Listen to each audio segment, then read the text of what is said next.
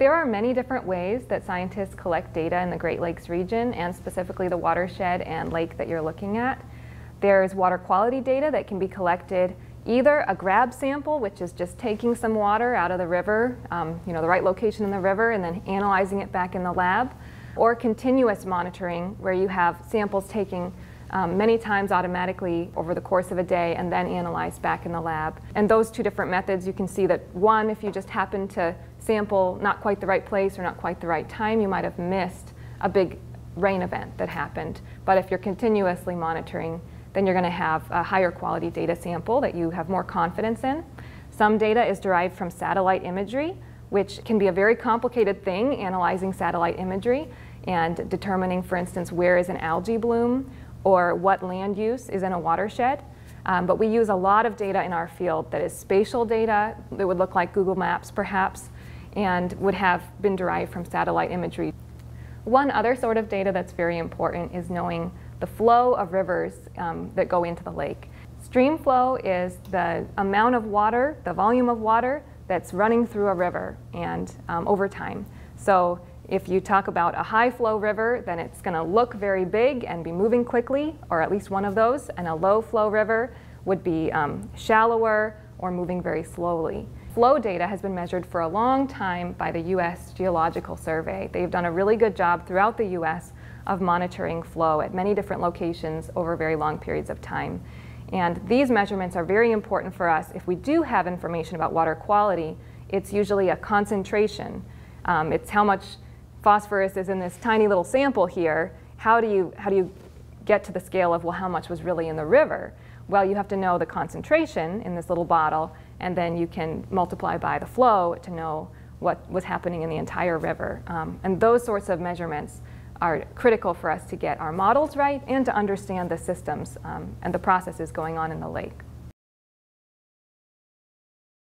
And so the first step is getting all these different types of information. Some of them might be a map, some of them might be a point measurement, all into the same, uh, same network, same system. So that's the first stage required for modeling.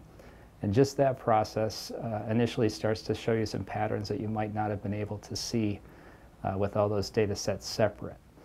Now once those, those are all in a, uh, you know, a geographical relationship and a time relationship to each other, then you can extract uh, patterns that, that have changed over time and if you, uh, if you can understand those patterns and the interactions between the different parts of the system well enough, you can eventually actually forecast and model into the future.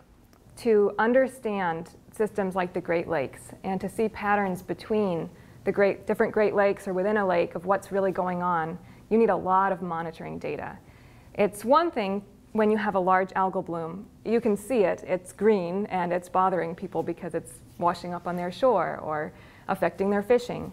But there are a lot of things that happen that are negative in ecosystems that you can't see very easily. Or even if you see it, you don't know why it's there. And so monitoring, heavy monitoring in these systems is really important. Monitoring the right locations, getting the right sort of data, and even looking for things that you weren't looking for in the past.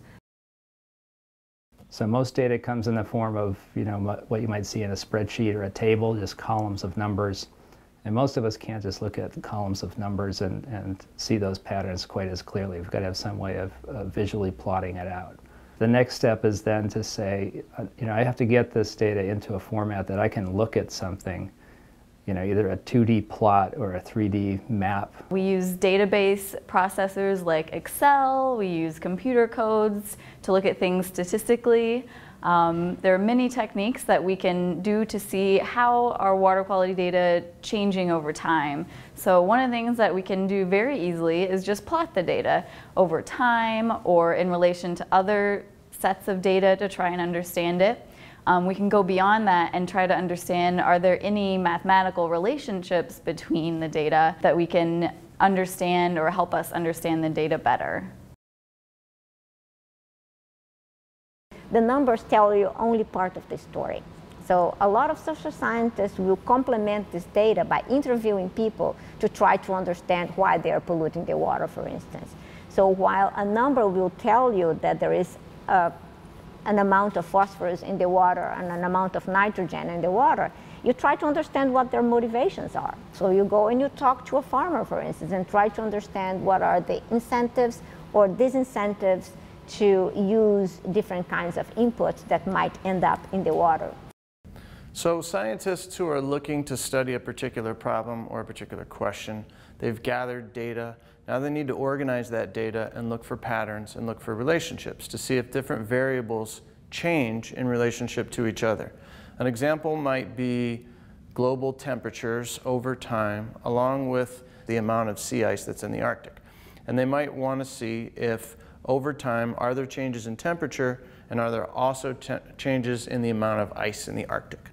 So they might have a graph, a scatter plot, for instance, at which they've got a time series here, and this, these numbers on the bottom might represent temperature, and over here we might have percentage of the Arctic Sea that is, or the Arctic Ocean that is frozen over and covered with ice. And then they're going to look and see if there's a relationship, if there's change over time, and if they seem to be traveling in the same direction, in the opposite direction, or if there's no relationship at all. So if we look at these three sample scatter plots, you can see different types of relationships or a lack of a relationship. In this scatter plot, there's no clear pattern. The numbers don't really seem to have a relationship to each other. So I've got this X and Y point here and this one over here. I can't really visualize anything happening here in comparison to say this one. This is a pretty clear relationship. This would be called a positive correlation. What a positive correlation is, is as these numbers increase, these numbers typically increase too, right? So these numbers are related. As one gets bigger, the other one gets bigger. So I could draw a line sort of through the middle of these numbers. This is my closest fit line. And it shows a very clear, direct, positive correlation. I'm going to talk about correlation and causation in a second. It doesn't mean that X causes Y or that Y causes X. It means that they are traveling in the same direction together. As one goes up, the other one is going up.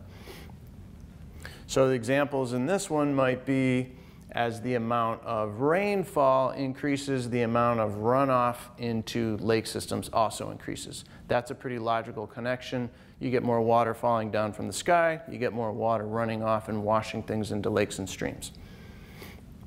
This over here is a less clear relationship, but still, if you follow kind of the pattern and you look at where they're clustered and you draw a line again, there are statistical ways to make this really fine-tuned, but just visualizing, there's kind of a line that goes through here.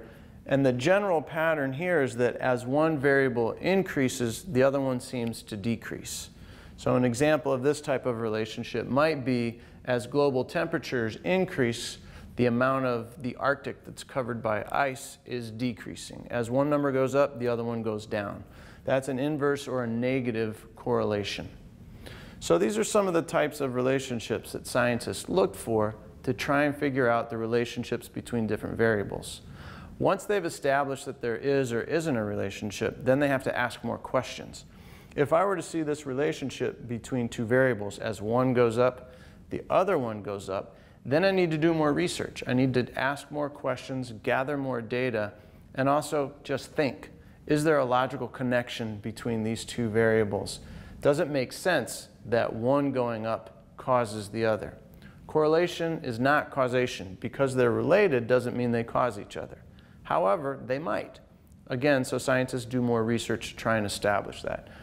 In the instance of, let's say, the relationship between global temperature, global average surface temperatures, and the amount of the Arctic that's covered with sea ice, that's a pretty logical connection. It makes sense that as things get warmer, more ice melts. That's very logical. So you could begin to make some assumptions about causation, but then you would still do further research to try and figure out exactly what's going on, and also to see if there are other variables that are at play that are changing this complex relationship.